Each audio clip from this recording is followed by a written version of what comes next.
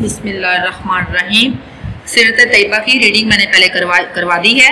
अब इसकी मश की तरफ़ आते हैं। तफसीली जवाब तहरीर करें। फ़तेह मक्का का पस मंज़र अपने अल्फाज में तहरीर करें। फ़तेह मक्का का पस मंज़र। मुसलमानों और कुरैश मक्का के दरमियान दुश्मनी की इब्तदा तो मक्का में हो चुकी थी। इसी वजह से मुसलमानों को मक्का मुकरमा से हिजरत करके मदीना मनवरा जाना पड़ा। इसके अलावा जंग बदर, ओहद और खंदक जैसी शदीद जंगों का सामना करना पड़ा। सुलह हदीबिया में मुसलमानों और कुरैश मक्का के दरमियान ये तय पाया था कि दोनों दस साल तक जंग नहीं करेंगे। अरब कबाइल जिस फरीक के साथ मिलना चाहें, मिल जाएँ। पुरानी दुश्मनी की बना पर बनु बकर ने बनु खजा पर रात की तरीकी में हमला कर दिया। बनु खजा ने मजबूरन खाना काबा में बना ली लेकिन बनु बकर हरम में दाखिल होकर बनु खुजा को कत्ल कर दिया। कुरैशी मक्का ने बनु बकर का साथ दिया। आगे है पॉइंट है, कुरैशी मक्का का माहिदा ख़त्म करने का फैसला। नबी करीम सल्लल्लाहु अलैहि वसल्लम ने हज़रत जुमरा रजील्ला को कुरैशी मक्का की तरफ़ भेजा और तीन शर्तें पेश की। कि इनमें से किसी एक को इख्तियार कर लें। पहले ये थी, बनु खुजा के मकतूलैन का खून बहा अदा करें, यानी उनका, जो उनका खून बहाया है, उसका बदला दें। बनु बकर की हमायत से दस्त बरदार हो जाएँ। दस्त बरदार होना, यानी अलग हो जाना, यानी उनकी हमायत ना करना। माहिदा दिबिया के ख़त्म करने का ऐलान करेंगे। यानी जो माहिदा लिखा गया था, उसको ख़त्म कर दें और उनका मतलब था नए सिरे से उसकी, यानी तजदीद करें। कुरैशी मक्का ने जल्दबाजी का मुजाहरा करते हुए तीसरी शर्त कबूल कर ली। कुरैश को अपनी बदहदी का जल्दी एहसास एहसास हो गया। गलत फैसले का एहसास हुआ तो उन्होंने तजदीद माहिदा के लिए अबू सफ़ियान को मदीना मनवरा भेजा, यानी माहे को नए सिरे से लिखने के लिए। अबू सफ़ियान रसूलुल्लाह सल्लल्लाहु अलैहि वसल्लम की खिदमत में हाजिर हुआ, लेकिन आप सल्लल्लाहु अलैहि वसल्लम ने इसे कोई जवाब न दिया। बुतों से पाक करना। फतेह मक्का का एक सबब खाना काबा की ततहीर भी थी। ततहीर का मतलब था कि खाना काबा को बुतों से पाक करना था, यानी बुत जो थे वो वहाँ से ख़त्म करने थे। क्योंकि खाना काबा अल्लाह ताला का घर है ये मुशरकिन मक्का के कब्जे में था, उन्होंने इसमें बुत रख दिए थे। आप सल्लल्लाहु अलैहि वसल्लम की ख्वाहिश थी कि हरम पाक तो सिर्फ़ अल्लाह की इबादत के लिए इस्तेमाल किया जाए। इस मकसद के लिए आप सल्लल्लाहु अलैहि वसल्लम ने खुद भी जंग की तैयारी फरमाई। जब आप सल्लल्लाहु अलैहि वसल्लम ने जंग की तैयारियाँ मुकम्मल कर ली तो दस हज़ार का बहुत बड़ा लश्कर लेकर मक्का मुकरमा की तरफ़ रवाना हुए। रास्ते में दूसरे कबाइल भी इस लश्कर में शामिल होते गए। जब ये लश्कर मक्का मुकरमा पहुँचा तो कफार हैरान रह गए। आप वसल्लम ने मक्का के करीब ही पड़ाव डाला। इस वक्त मक्का मुकरमा का सरदार अबू सफियान था।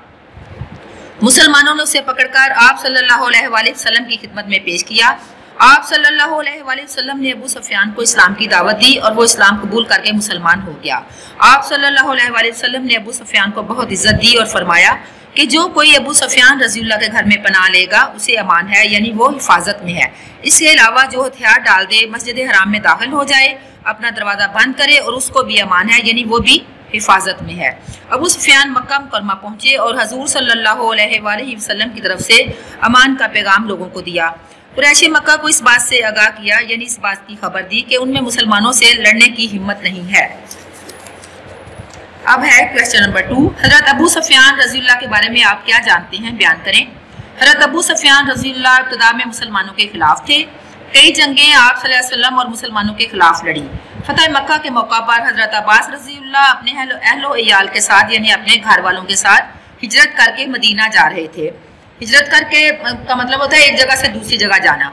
के रास्ते में आप वसल्लम से मुलाकात हो गई, वो भी इस्लामी लश्कर में शामिल हो गए। अबू सफियान ने दूसरे चंद सरदारों के साथ सूरत हाल का जायजा लिया तो मुसलमानों के इतने बड़े लश्कर को देखकर हैरान रह गए। नबी करीम वसल्लम के खेमा की हिफाजत पर जो दस्ता मुकर था, उन्होंने अबू सुफियान को देख लिया और पकड़कर रसूलुल्लाह की खिदमत में ले गए। हजूर वसल्लम ने अबू सुफियान को इस्लाम की दावत दी। अबू सुफियान रज़ी ने इस्लाम की, आपकी दावत जो थी वो कबूल कर ली और ईमान ले आए। आप वसल्लम ने अबू सुफियान को इज़्ज़त दी और फरमाया कि जो कोई अबू सुफियान रज़ी के घर में पना लेगा, उसे अमान है। अबू सुफियान रज़ी ने कुरैशी मक्का को बताया कि इनमें मुसलमानों से लड़ने की हिम्मत नहीं है। नेक्स्ट क्वेश्चन है, फतेह मक्का की मुनासबत से हज़रत खालिद बिन वलीद रज़ी के बारे में एक पैराग्राफ तहरीर करें। हज़रत खालिद बिन वलीद रज़ी तु बहुत बहादुर मुजाहिद थे। आप सल्लल्लाहु अलैहि वसल्लम ने लश्कर की तरतीब व तकसीम फरमाई तो खालिद बिन वलीद को अपने दाएँ पहलू पर रखा, यानी दाएँ साइड पे अपने पास खड़ा किया, यानी आप सल्लल्लाहु अलैहि वसल्लम ने हज़रत खालिद बिन वलीद को हुक्म दिया कि वो मक्का में निचले हिस्से में से दाखिल हों। निचले हिस्से से मतलब कोई बेसमेंट होगी, उसके नीचे से यानी गुजरना था। और अगर क्रैश में से कोई सामने आए तो काट कर रख दें। हजूर सल्लल्लाहु अलैहि वसल्लम मक्का मुकरमा में दाखिल हुए तो इस्लामी लश्कर को चार हिस्सों में तकसीम कर दिया। हज़रत खालिद बिन वलीद रजील्ला के लश्कर से लड़ने के लिए कुरैश के कुछ नौजवान आए, जो मामूली सी झड़प में, यानी मामूली सी लड़ाई में, करीबन तेरह लाशें छोड़कर भाग गए। इसके बाद हज़रत खालिद बिन वलीद रजील्ला मक्का मुकरमा के गली कुचों से होते हुए, गली कुचों से यानी गलियों और बाजारों से होते हुए, कोई सफ़ा पर सफ़ा एक पहाड़ है, कोई सफ़ा पर हजूर अक्रम सल्लल्लाहु से जा मिले। आगे है सवाल नंबर फोर। हजूर अक्रम अलैहि का फतेह मक्का के मौका पर मस्जिद हराम में दाखिल होने का मंजर अपने अल्फाज में तहरीर करें। मस्जिद हराम में दाखिला। हजूर अक्रम अलैहि इंसार और महाजरीन के साथ मस्जिद हराम के अंदर तशरीफ़ ले गए। हिजर असवद को चुम्मा मैंने आपको पहले भी बताया था, हिजर असवद जन्नत का पत्थर है, जो वहाँ पे खाना काबा बे नस्ब किया गया है। और हाजी जो हज करने जाते हैं, वो उसका भोसा लेते हैं। पहले वो वाइट था और जब ज़्यादा लोगों ने उसका भोसा लिया और वो अब वो, उसका कलर जो है वो ब्लैक हो गया हुआ है।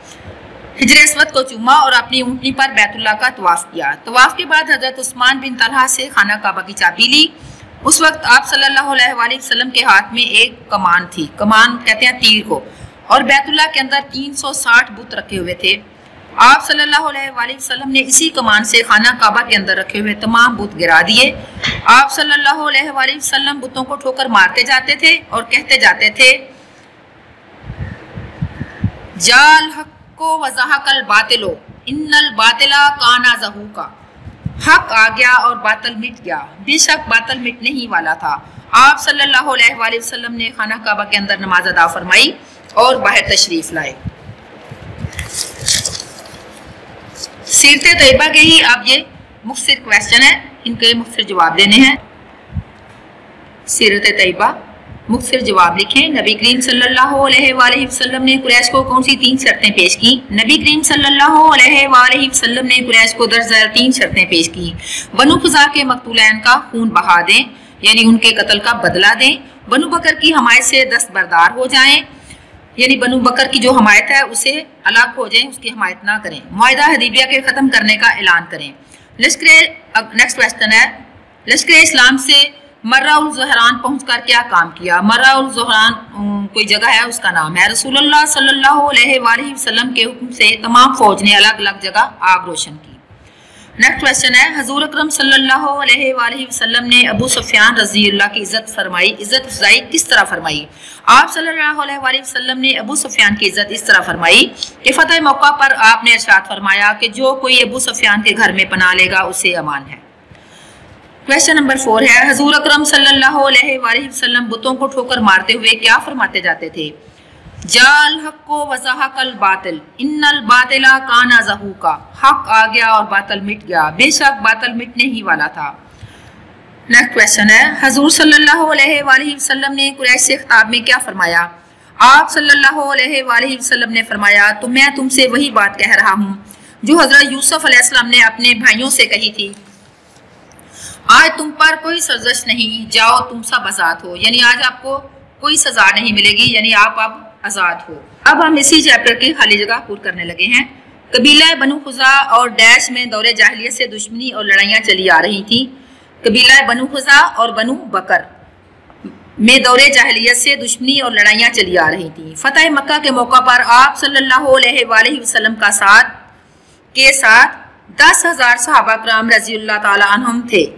हरत अब्बास रज़ी अल्लाह ने अबू सुफियान को अमान दी।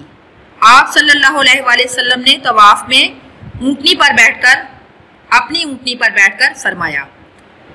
तवाफ था चक्कर लगाने को तवाफ कहते हैं। मैं तुमसे वही बात कह रहा हूँ जो हज़रत यूसुफ अलैहिस्सलाम ने अपने भाइयों से कही थी। इसके बाद है, दुरुस्त जवाब पर टिक का निशान लगाएँ। काफरों ने बैतुल्ला के अंदर बुत रखे हुए थे।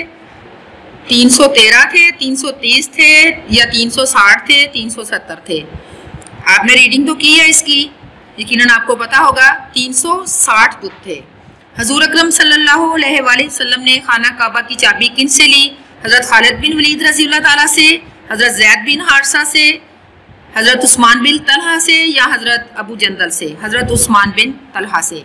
आप सल्लल्लाहु अलैहि वसल्लम किस चीज़ से बुतों को ठोकर मारते जाते थे? छड़ी से, सलाख से, कमान से या तलवार से? कमान से। हज़रत खालिद बिन वलीद रज़ी अल्लाह से झड़प में कितने मुशरक मारे गए? करीबन बारह, करीबन तेरह, पंद्रह या बीस? तेरह।